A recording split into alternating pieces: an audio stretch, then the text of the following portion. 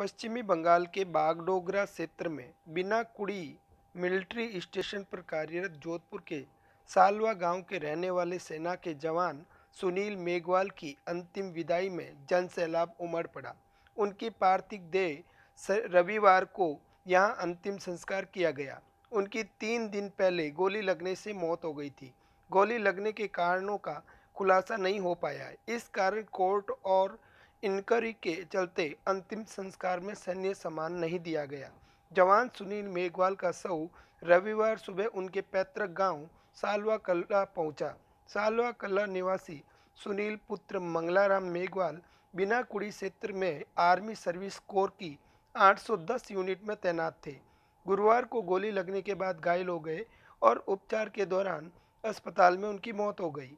उनके बागडोगरा के military hospital लाया गया, जहाँ डॉक्टरों ने उन्हें मृत घोषित किया।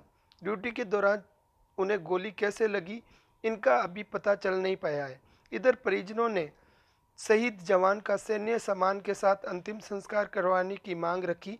परिजन सुबह दस बजे तक सैन्य सम्मान के लिए बोलते रहे, लेकिन किसी ने नहीं सुनी।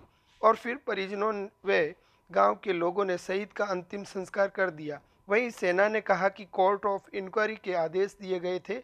इस कारण उनका सैन्य सम्मान से अंतिम संस्कार नहीं किया गया। सुनील के पिता मंगलाराम स्वयं आर्मी में हैं और दादा बिरदाराम भी आर्मी से सेवानिवृत्त जवान हैं।